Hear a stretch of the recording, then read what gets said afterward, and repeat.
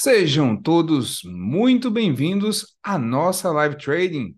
Eu sou Igor Silva, analista e educador aqui na casa, trader com mais de 12 anos de experiência, e nós faremos uma super live trading hoje do mercado asiático.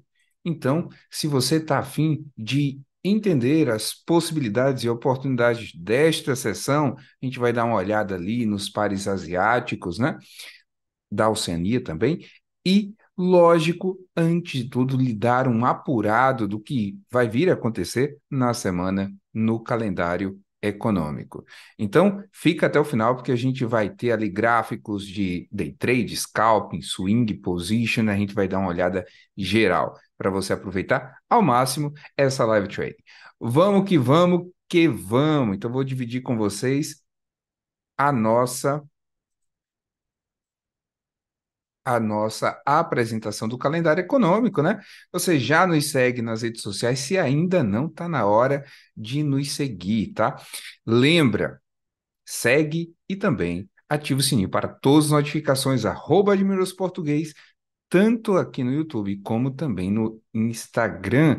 E se você quer participar do nosso chat aqui, da nossa comunidade no Zoom para fazer suas perguntas, não perde tempo, vem para cá, vem para o Zoom, porque eu só fico de olho no chat do Zoom, não do YouTube. Então, quer participar, quer fazer perguntas, quer interagir com o pessoal, vem para cá para o chat do Zoom, beleza?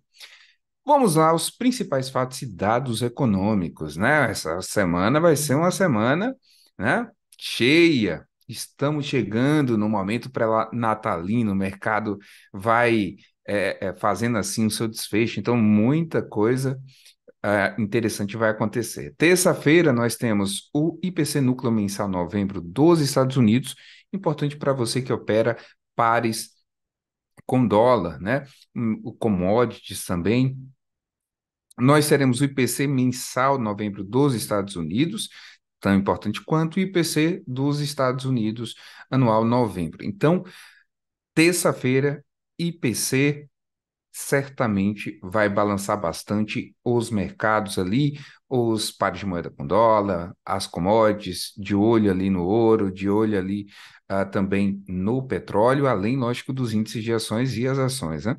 Principais fatos e dados econômicos de quarta-feira. Três touros, nós temos o PIB da Nova Zelândia trimestral, Q3.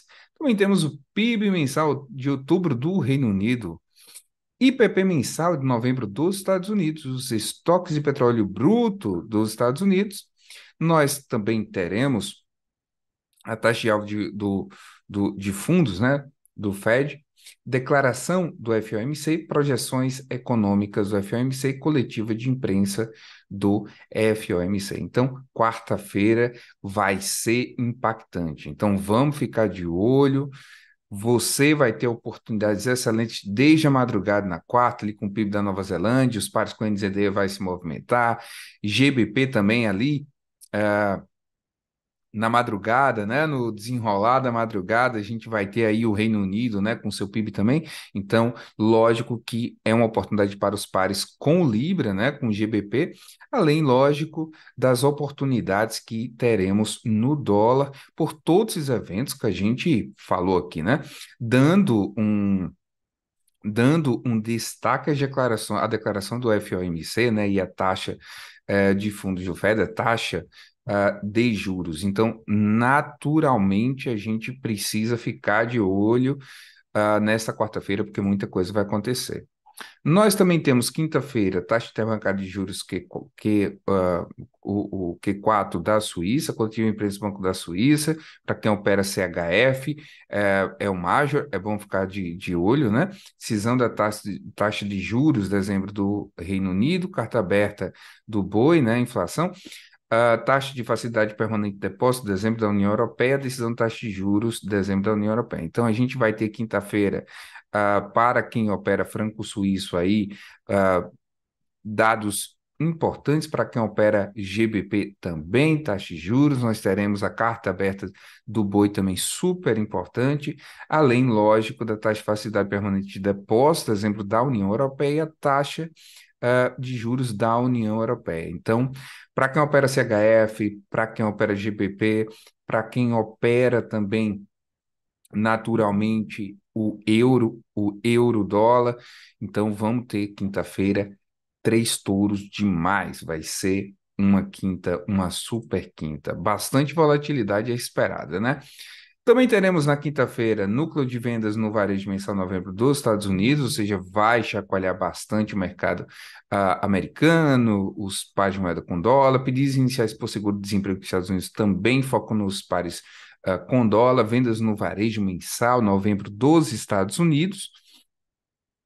Coletiva de imprensa do BCE, o Banco Central Europeu, balanço patrimonial do Fed e vendas no varejo anual de novembro da China. Então, quinta-feira, para finalizar, muita coisa interessante acontecendo ali, com uh, certamente, né, com o dólar, com os pares com o USD, né, também uh, um destaque aí ao euro, né, por conta da coletiva de imprensa do BCE e outros dados tão importantes quanto Sexta-feira de três touros, teremos apenas o PMI do setor de serviços, por exemplo, dos Estados Unidos de três touros, tá? Então vamos ficar atento, porque certamente essa semana vai ser bastante repleta de acontecimentos, bastante repleta de volatilidade. Agora vamos para o gráfico, né? Eu sei que o que você quer é o que eu quero, é o que todos queremos. Gráfico. Então vamos que vamos que vamos para o gráfico.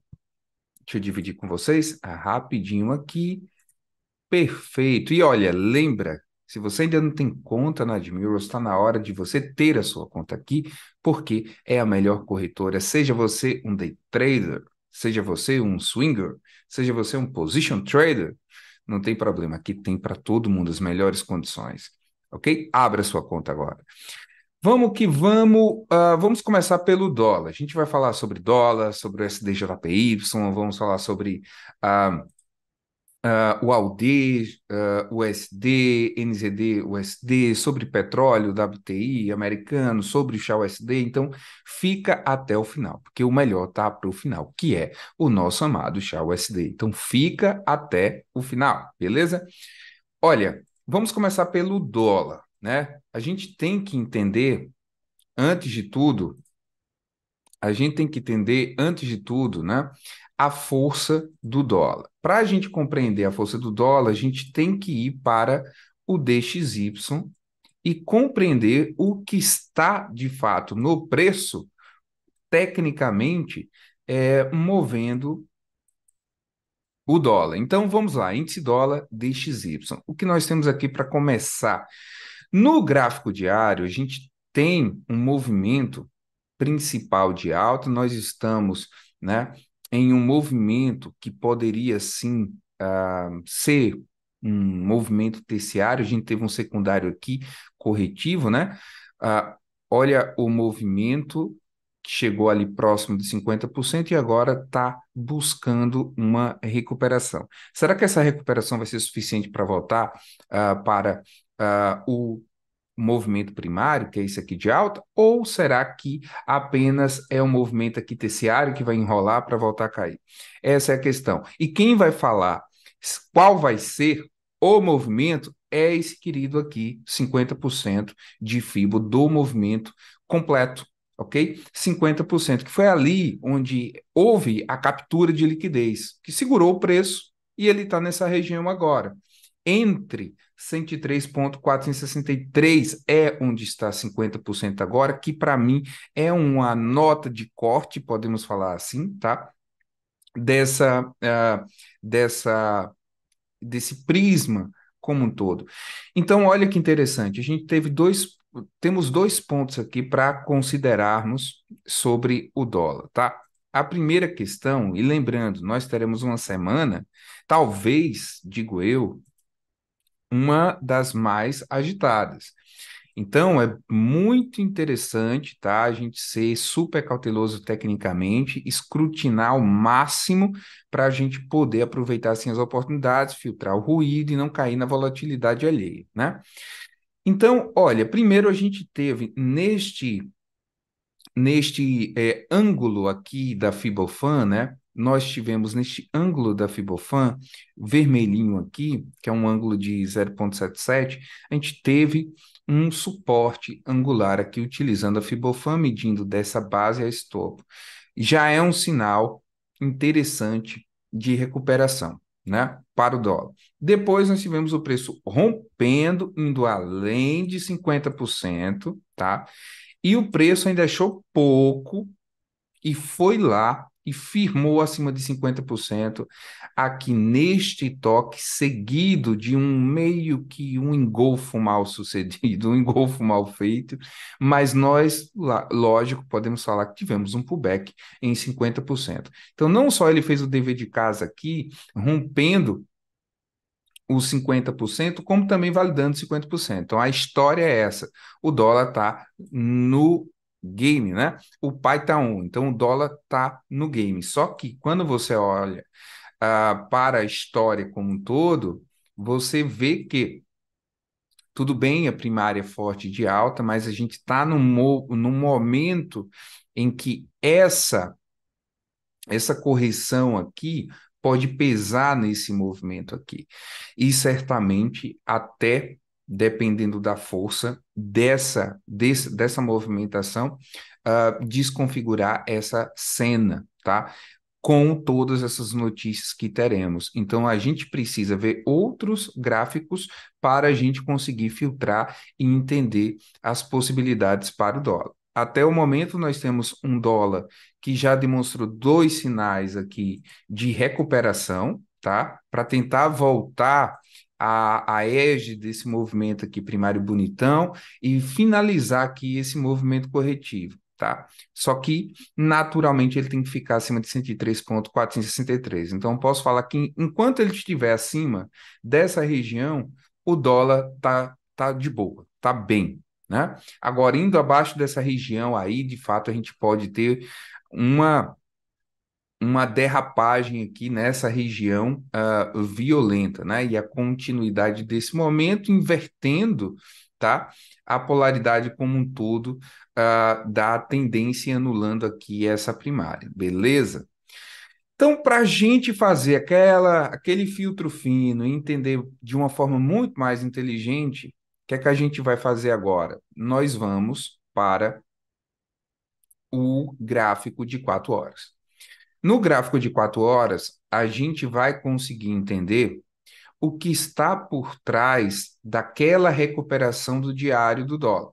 Beleza? Então a gente viu ali dois pontos importantes, duas etapas aqui da recuperação uh, do dólar. Só que eu digo que a terceira chave para a gente uh, conectar as peças é essa LTB antiga, no gráfico de quatro horas, que ela começou ali 1 de novembro, tá? E o seu rompimento foi uh, dia 5 de dezembro, consegue entender? E depois foi validado ali no dia 7 de dezembro. Então, olha que bonitinho, tá de livre esse LTB. Ele foi lá, conseguiu romper, virou a polaridade no H4 por conta da linha de tendência baixista rompida. Então, virou, foi para alta no H4, time frame menor. Outro ponto positivo. Só que agora ele está brigando numa resistência de FIBO, de uma projeção super importante, histórica, em 104.242. Olha aqui, ok?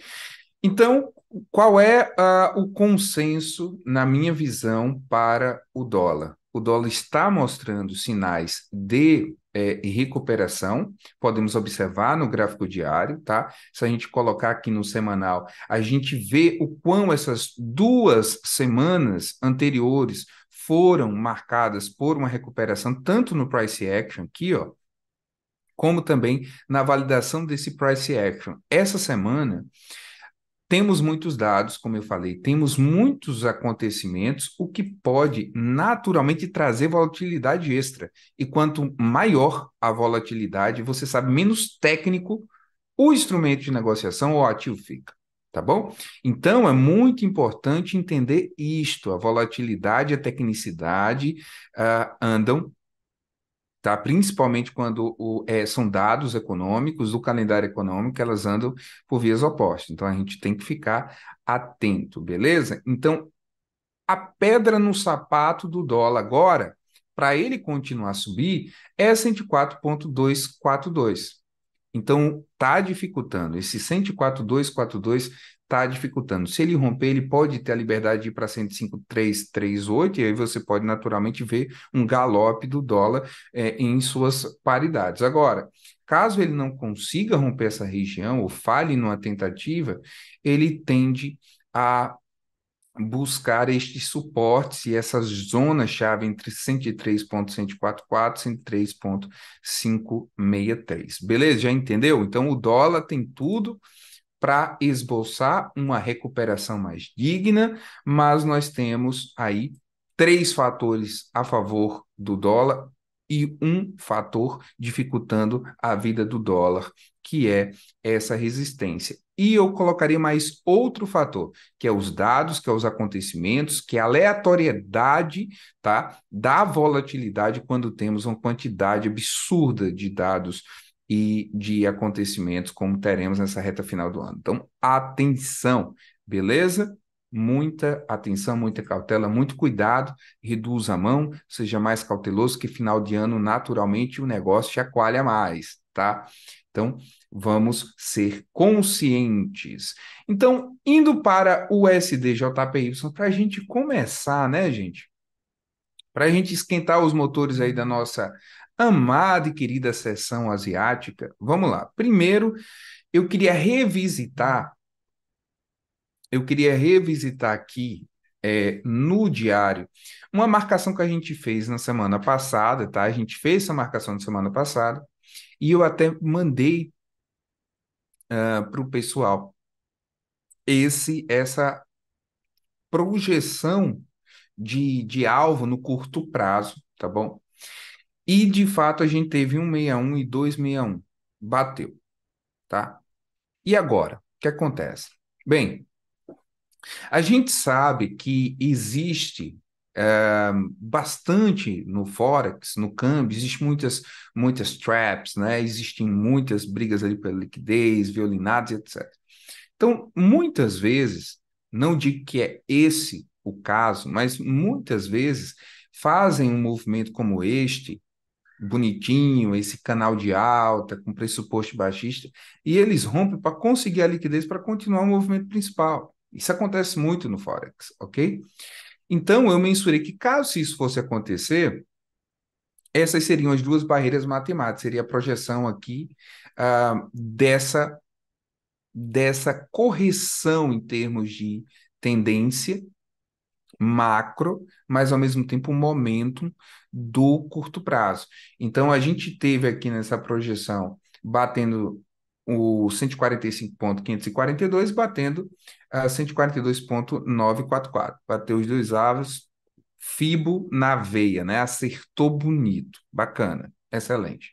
Mas tem um porém aí. Agora, será que aquele cenário, então, hipotético que eu imaginei, de buscar liquidez para estopar todo mundo e voltar, será que isso vem a se confirmar ou não? Vai depender da resistência de 147,710, que é a projeção do início de todo esse movimento. Tá? Aí é do macro. Então, esse ponto de 147,710, para mim, ele é um titã. Ele é muito importante. Se chegar lá e conseguir romper, tenha certeza que o movimento como todo foi bem sucedido em relação a capital, liquidez e um, seguir na, no, no, na, na posição, no posicionamento da intenção do institucional. Agora, se ele falhar, naturalmente pode ser o teste da é, LTA para ele seguir uh, rumo a níveis, a patamares mais baixos, como talvez até 140.527, né? Quem sabe? Então, a gente está uh, no SDJPY nesse ponto importante com os gráficos uh, menores, outra coisa que chamou muito a minha atenção, eu gostaria de dividir com vocês, né? Essa distorção aqui me chama muita atenção quando temos esse tipo de distorção, tá? Me incomoda muito. Por quê? Você tem aqui o preço trafegando de uma maneira lógica, né? E aí, de repente, ele faz um, uma, uma, um movimento volátil e abrupto e volta tudo. Como se nada tivesse acontecido, ele volta para a estrutura original. Então foi isso que ele fez aqui. Ele montou uma, uma triangulação aqui, rompeu a base, que não era o esperado, rompeu a base, buscou liquidez no ponto que marcamos também anteriormente, 142.816, e voltou para a formação da figura original, depois de bagunçar tudo. Na verdade, é como se tivesse apagado, não existisse, na verdade, essa essa queda abrupta aqui. Olha que interessante. Depois ele volta e fica trabalhando. Então, isso é algo que me chama uh, muita atenção e que dá um peso a essa zona-chave agora, que na minha visão é 146.260. Então, é interessante porque a gente já viu é, ele bater ali dois alvos de fio, bateu um 61, bateu 261 da projeção aqui do rompimento dessa LTA de curto prazo, rompimento curto prazo bem afinadinho com o momento, tá? Tá tentando uh, voltar e agora estabelecer aqui no quatro horas uma distorção como essa para depois voltar para a figura, voltar para a estrutura, trabalhando ela, no mínimo, isso é curioso. Será que isso mostra uma força adicional uh, para os comprados? Porque aqui tomaram tudo. Né? Então, fica essa interrogação, ok? Então, 146.260 para mim é o ponto-chave. Ele é o ponto-chave do gráfico de quatro horas que vai definir é, essa movimentação, tanto em em torno ali dele buscar num swing no 4 horas 148.390, como também, caso ele rejeite, ele voltar para o patamar ao qual ele realizou este fundo, né, que é 142.816. Então, essa estrutura aqui, no momento, pelo menos, lembrando, temos muitas notícias, ampla volatilidade para uma semana que pode alterar todo o, o contexto aqui, mas no momento que temos é outro ponto que tende a favorizar a, favor, a, a favorecer os compradores aqui em H4, não só no diário também, tá bom? Isso me chama a atenção. Uh, tanto no diário que a gente tem de preocupação aí é a validação da LTA que ele pode voltar para validar, e a resistência 147.710, e aqui o nível chave 146.260, que é um nível chave imediato. Né? Agora, a gente reduzindo mais para o, o gráfico de uma hora, a gente consegue ver de uma maneira mais uh, clara, né, o quão a recuperação foi muito bem estruturada, porque se você observar aqui, antes do pivô, este pivotamento que está aqui, ó, este pivotamento que está aqui, uh, nós tivemos assim uma clássica um, dois, foi. Isso é muito clássico, essa um, dois, três que ele fez, né? Então, essa um, dois, três que a gente tem aqui, ó, uh, fundos levemente mais altos, né? o teto achatado com seu rompimento, validação, e aí inicia o rally. Então, mostra que é, este, é, esta recuperação aqui no H1 ela não é co mera coincidência e houve uma construção dessa recuperação com fundos ascendentes, com pivotamento, com tudo muito bem feito, né? Então, mais um ponto para os comprados aí. Em 15 minutos, a gente vê uma negociação em blocos altista, seriam reacumulações, tá bom? Ah, estamos em uma zona-chave de 146.102 aqui no SDJPY. Você que está buscando fazer uma operação é, day à noite ou buscando fazer uh, um scalpingzinho agora à noite, tá? Uh, fica atento, porque nós uh, estamos aqui para o SDJPY em 15 minutos presos uh, em um caixote. Né? Então, essa negociação, quando ele está preso no caixote, você deve evitar setups de tendência e operar suas extremidades, mas com muita, com muita cautela. Ou buscar algum sinal de fraqueza ou algum sinal de força para visualizar assim, uma oportunidade. Mas o que a gente tem são possíveis é, reacumulações aqui, acumulação, reacumulação acontecendo, ele tende naturalmente, como vocês viram, no curto prazo, a continuar uh, e buscar talvez ali o 147.016, caso entre volatilidade, caso entre volume, o que não está acontecendo. O volume desapareceu, tanto é que se você observar aqui os candles como, como estão pequenininhos, tá? Mas naturalmente ele tende a continuar essa movimentação, caso este teto que eu mencionei, uh, de 146.584 seja quebrado. Antes disso, está muito complexo, tá? Uh, porque é uma região de bastante é, briga, de bastante disputa, como você pode ver, né? Para visualizar no curto prazo, por conta dessa tendência, vou mostrar ela na sua totalidade aqui. Tá? Que vem ali, que parte, vamos ajeitar para mostrar tudinho. Que está ali desde de, de 7 de dezembro, com suas validações e revalidações, trabalhando na alta, né? para a gente visualizar movimentos uh, contrários aqui ao que estamos observando, que é a possibilidade da continuidade de alta, na minha visão, seria ali operações curtas, rápidas. Um exemplo, rompeu 145.969, buscar um alvo em 145.804 e no máximo, no máximo 145.722. Anotar esses níveis, botar no seu gráfico. E se você for operar contra a tendência, você tem que, que fazer isso de uma maneira que você entra, que você protege, realiza um alvo curto, porque não está, né?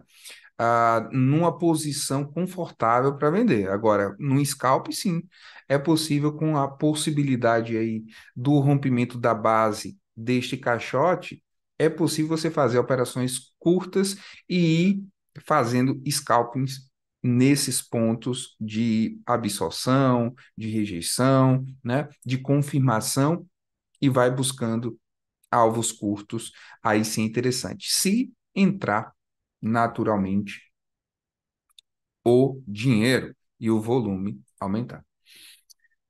Vamos agora dar uma olhada no AUD USD.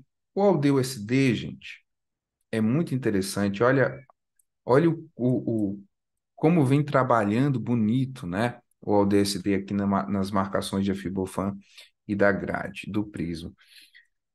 Essas marcações são também marcações que a gente vem acompanhando já há um tempo, até para a gente ver uh, uh, o resultado delas, né? Para vocês visualizarem uh, o resultado delas.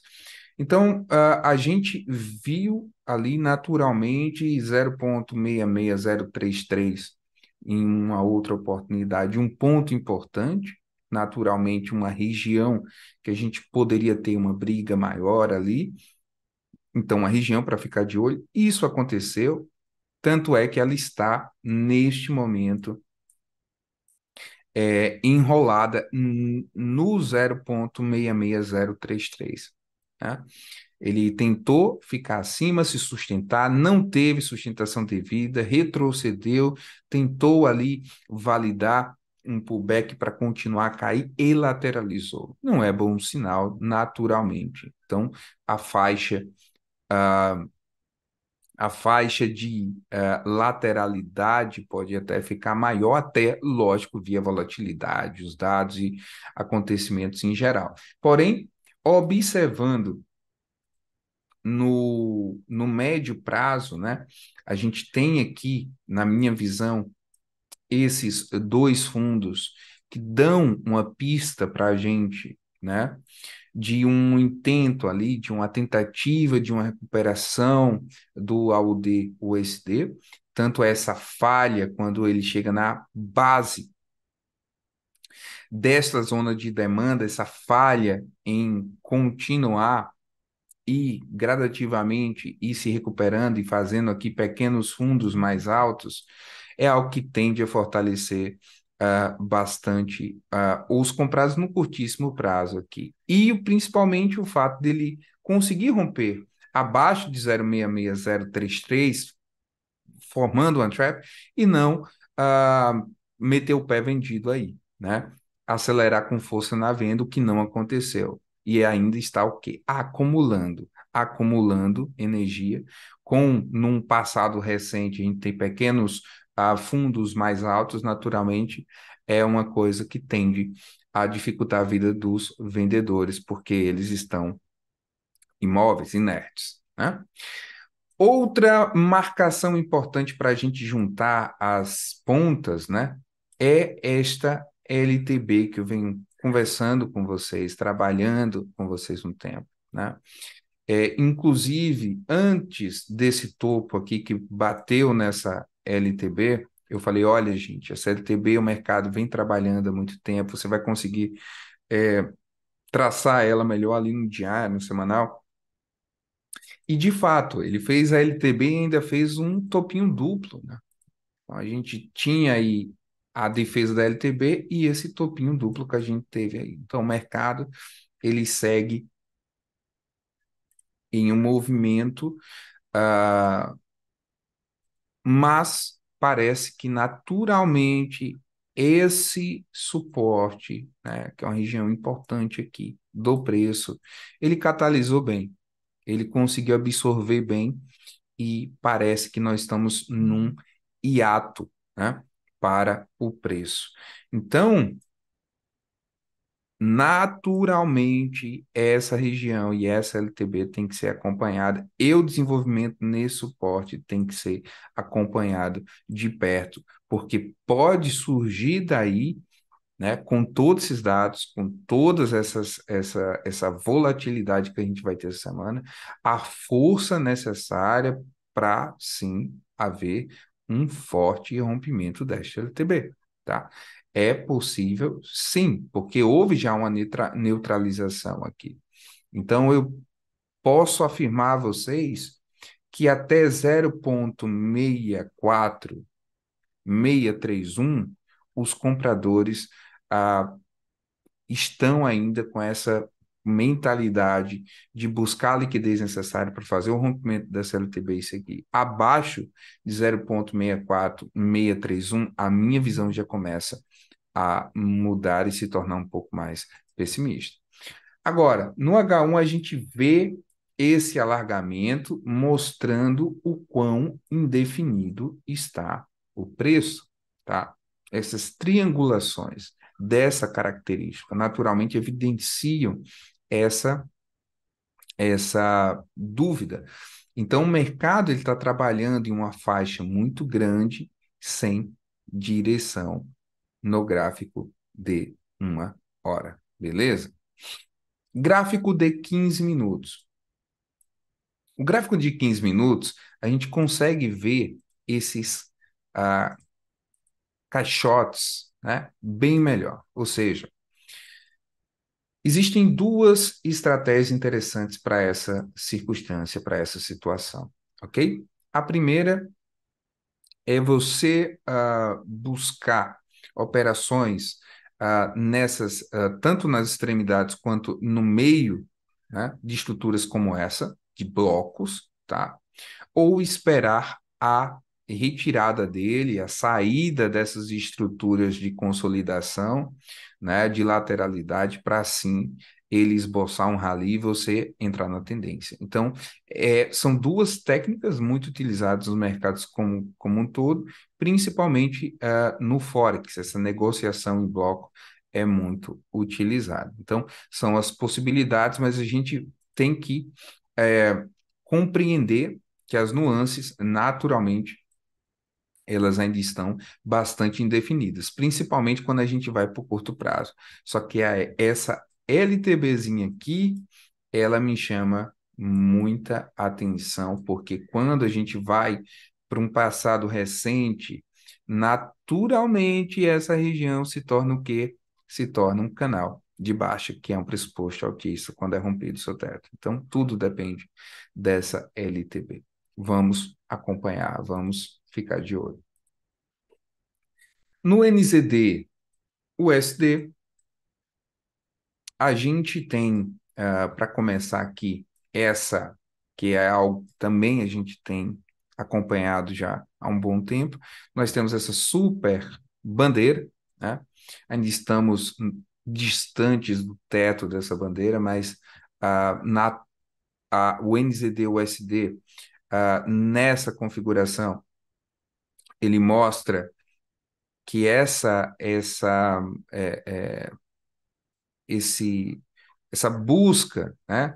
essa tentativa, a gente vê que ele está trabalhando já há um bom tempo nessa lateralidade, mas essa tentativa, essa busca por liquidez aqui 0.61457 mostra e norteia a gente um pouco sobre os interesses uh, da captação ali de liquidez pelos institu institucionais, naturalmente, algum movimento pode partir daí, porque está tendo essa comoção em um ponto matemático que isso já é esperado. Então, praticamente, é isso que está acontecendo agora. A gente tem que ir para uh, time frames menores para conseguir entender o que está acontecendo. Então, quando a gente vai para uma hora, a gente observa praticamente a história uh, do instrumento de negociação do par aqui em uma hora, que foi o o, o, uma LTA sendo construída, a gente teve depois um topo duplo que fez a LTA ser rompida, mudar ali a, polaridade, mas ficar numa faixa de negociação entre 0,62, até 0,61148, tá? Fez praticamente dois, três regiões de fundo neste suporte e nós temos agora uma hipotética formação, né? podemos colocar assim, de um canal. Então, somando, somando o que a gente viu ali no NZD-USD ali do diário, tá? Que existe essa bandeira, ó, aqui o mastro, né, a bandeira. E agora nós estamos tendo uma formação em H1 de um canal. Será que vem daí, então, a força para aquele rompimento da LTB? A gente só vai saber com os dados, certamente, porque são pontos muito fortes, muito poderosos, que precisa de muito dinheiro para quebrar, né? De muita grama, grana, né? grama também, né? Grama é verde. então, uh, 0.61148 é sim agora o ponto-chave. O ideal foi, é, seria que ele trabalhasse, seria mais prático assim, ele trabalhar esse canal de baixa para ter um rompimento, seguir até o rompimento ali do diário e dá bastante uh, dá bastante condições da gente poder ver até operações ainda mais longas, né? E no 15 minutos, bem, no 15 minutos nós uh, estamos com o NZD USD em uma lateralidade, em uma consolidação aqui, em um caixote ainda de maneira não é, não clara, né, para a direção, porque naturalmente essas situações podem ser boas acumulações que têm o seu teto rompido, e aí você pode é, entrar numa validação e seguir a sua operação aqui, ou nós podemos ter com a, a, a base né, rompido uma continuidade do movimento como um todo. Então, antes de ou a sua parte superior, a sua parte inferior ser rompida, a gente não pode é, orientar assim a nossa a visão, porque o mercado está em formação. Né? Então, a gente está tendo aqui a, uma formação para algum movimento forte que virá a seguir, porque quanto mais tempo o preço ele fica em uma região, tá? Quanto mais tempo ele fica numa figura, quanto mais tempo ele fica numa acumulação, quanto mais tempo ele fica uh, em uma, em uma uh, situação como esta aqui, tá? Uh, mais forte é o seu movimento, maior é a operação, então, naturalmente, retornos, né? Então, vale a pena esperar o momento devido, que eu acredito que seja um rompimento seguido de teste. Tá? Para ser mais tranquilo, para ser de uma forma mais clara, né? A sua operação realizada. Vamos dar uma olhada agora no petróleo, né? Uh, o petróleo é o US Oil, né? Que é o, o WTI, tá? Americano. É legal da gente ver o nascimento, né? É, o nascimento dos movimentos. Esse, esse movimento forte baixista, ele aconteceu por quê? Quebra da LTA. A gente teve uma quebra dessa linha de tendência altista, que foi quebrada e depois confirmada. E eu projetei essas, essas pernas principais para a gente ter, assim, um hipotético alvo para os vendidos. E estamos em um deles, que é 70 uh, com uh, 18, tá? Então, estamos em um alvo uh, muito importante, em uma região que naturalmente é um suporte, é uma região também de demanda super forte. Olhe o passado gráfico, sempre gosto de fazer isso, olhar, ver minhas marcações de FIBA ok, mas olhar para o passado e ver se tinha alguma região de preço atrás em que teve muita briga, em que teve muita disputa, em que teve, de fato, algum sinal que possa me dar, né?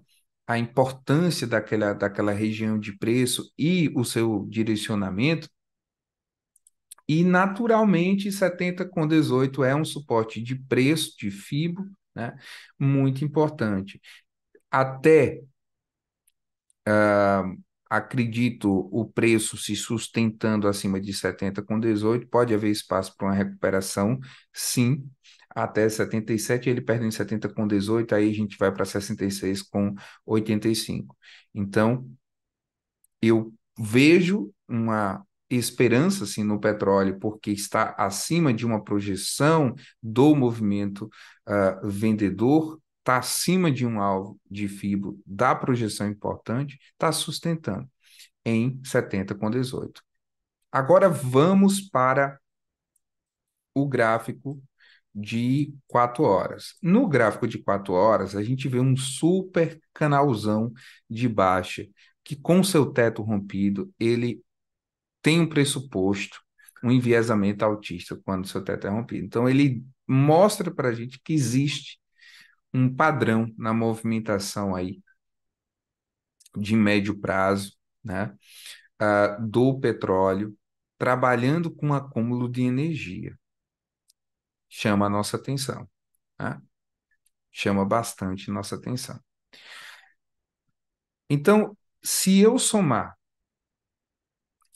os dados que tem com a, uma, uma formação ainda acontecendo, não foi validada, não foi concretizada, e com algumas questões é, relacionados ali à macroeconomia, relacionados aí a conflitos, relacionados aos produtores de petróleo, né? Pode uh, vir a, a, a, a, a calhar aqui esse canal de baixa, com pressuposto altista. Talvez seja o, o mercado do petróleo mirando né, uh, um movimento de alto e longo prazo? Pode ser, né? Pode ser se o teto for uh, rompido, porque a intenção, pelo menos, do que é, é dito pelas organizações, o PEP, né? PEP Plus e etc., e várias outras, né? Uh, a intenção deles é manter o preço do petróleo é, em um preço interessante para eles, tá? Então, essa movimentação pode dar alguma pista de suas, seus intentos, de suas tentativas para eles terem o preço que eles querem. Então, muito cuidado com as vendas de longo prazo uh, no petróleo. Curto prazo, tudo bem, colocando teu stop, um alvo inteligente, mas no longo prazo, o que a gente vê de um cruzamento de gráficos um pouco maiores como esse, são algumas conotações, alguns padrõezinhos altistas ainda não confirmados se formando, e a gente vê também o interesse dos produtores de petróleo em ter o, o, o preço deles, o preço que eles querem, que certamente não é o que está agora, o que está hoje, né? Então, vamos ficar atentos uh, nisso aí. E para quem quer ver uma possibilidade aí no curto prazo, gráfico de uma hora, nós tivemos uma leve, leve cunha ascendente com a sua base rompida, cunha esta que tem um pressuposto baixista quando sua base é rompida, e nós estamos, atingimos o terceiro alvo da projeção deste rompimento de fibra, o alvo em 69.87, também acredito que acima de 69 ele tem tudo para buscar 72,41, tá? É, tá trabalhando bem nessa região, agora perdendo 69, ele vai em níveis muito muito baixos, né? O que eu acho que a possibilidade disso acontecer é menor, tá? Porque tem toda uma questão não só de preço, mas também de acontecimentos, de fundamentos de intermercado e outras cositas más, que essa precificação ficaria bem uh, estranha. Então, 72,41, uma resistência muito importante, chave, para ficar de olho e um suporte super importante, 69,87, ambos níveis de projeção uh, de FIBA. Agora, sobre a continuidade do movimento perpetrado com um rompimento aqui dessa, dessa cunhazinha, eu acredito que para a gente ter uma continuidade, porque foi um movimento muito forte, né? A gente saiu ali de 75 para 68, a mínima. Foi um movimento muito forte. Nós temos que ter um outro acontecimento aqui gráfico para justificar uma continuidade, porque baseado no drive desse padrão já foi. Né? Beleza? Mas, lógico, semana de muitos acontecimentos, semana de bastante tensão nos mercados, tantos dados importantes, tudo pode acontecer. Né? Vamos sempre compreender essa máxima. Shell USD, o nosso querido e amado petróleo. Vamos dar uma olhada geral aqui uh, no Shell USD. O Shell USD, gente,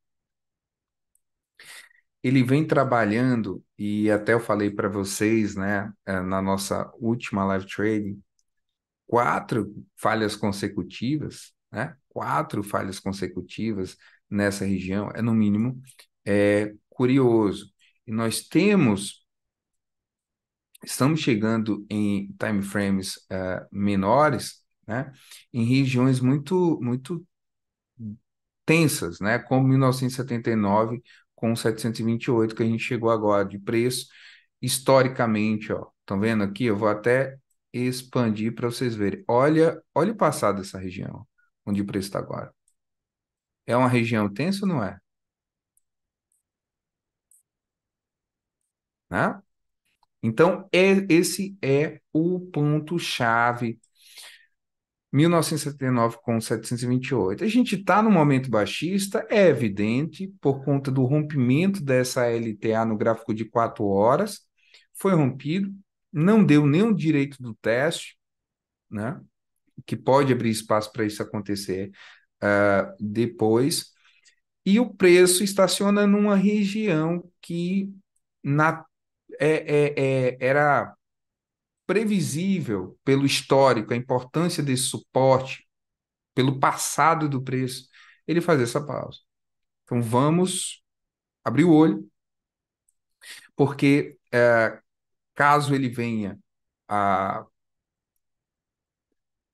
voltar uh, ao, entender que essa região ele já conseguiu ali toda a liquidez necessária para voltar ao movimento principal, né?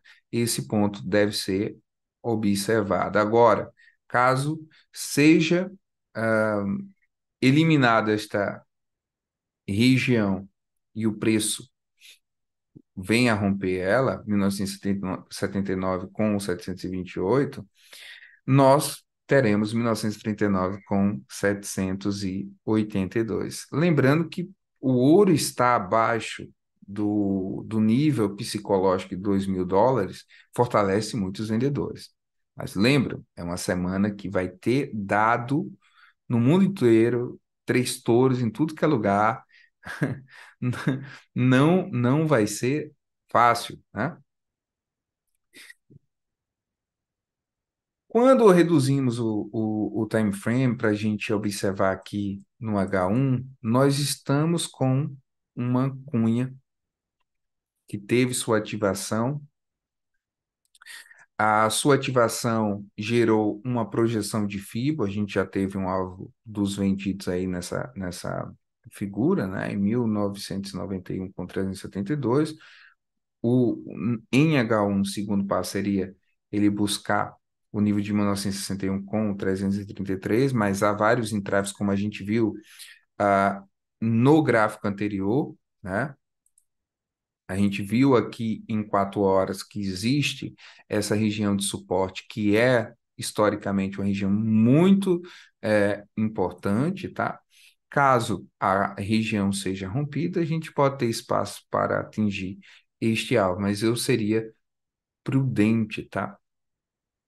Sempre tendo validações em cima de validações. E no curtíssimo prazo, aqui no gráfico de 15 minutos, né?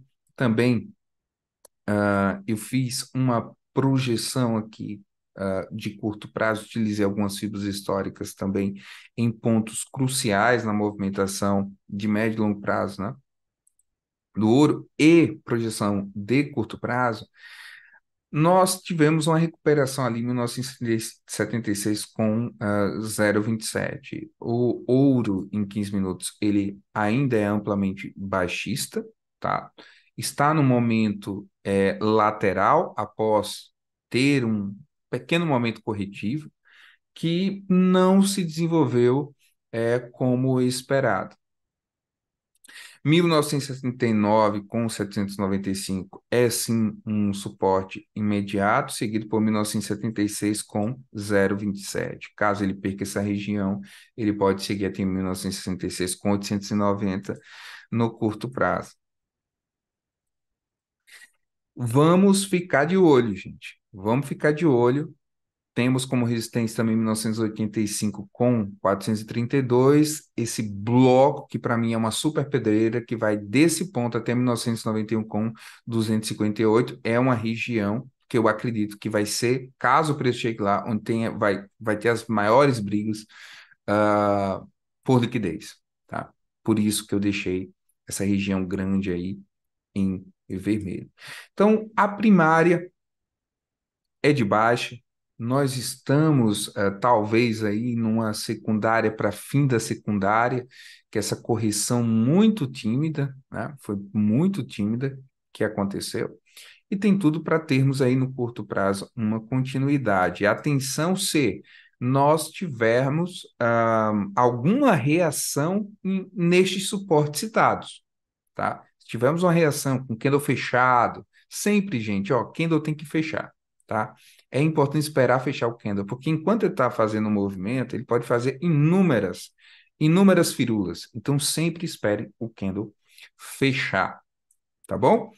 Mas, se este suporte não segurar, ele pode sim ir forte, é, vir além deste, desta mínima e seguir no valor que mencionei. Caso você queira uma projeção, caso ele uma projeção mais acertadazinha, tá? E ele vem aqui a romper 1976, você quer projetar o alvo correto desse rompimento, mas no fio do bigode mesmo, você pode pegar a retração base, né, essa base, o teto, ativar o 61 261 e voilá, né? Você vai ter o seu alvo. Caso ele não renove, não faça um outro, outro uh, uh, nível de preço aqui mais alto que essa região uh, de resistência de preço, 161, acredito eu, que é em 1970 com 670, tá? Então é isso, gente. Vocês têm alguma dúvida? Gostaria de fazer alguma pergunta? Aproveitem E você que está no YouTube, não perde a oportunidade da próxima vez de vir no Zoom para você fazer suas perguntas, para você tirar as suas dúvidas. Lembrando aqui que eu estou aqui para você e por você, para que você possa sim conseguir desenvolver-se nos mercados, ser bem-sucedido. Beleza? Então, vem para o Zoom. Se está no YouTube, vem para o Zoom para acompanhar de perto, para fazer perguntas, para participar. Tem alguma pergunta aí, chat, meu queridos do Zoom? Tudo beleza? Tudo perfeito? Que bom que vocês estão felizes, estão satisfeitos. Então, gente, eu me despeço aqui. Fiquem bem, excelente semana. Cuidado com a volatilidade, tá? Muitos dados. A gente vai ter muitas volatilidades. A semana não vai ser uma semana fácil. Então, fica a dica: tem um gerenciamento de risco interessante. Só exponha mínimo da sua conta por operação. Tenha sempre stop loss ativo.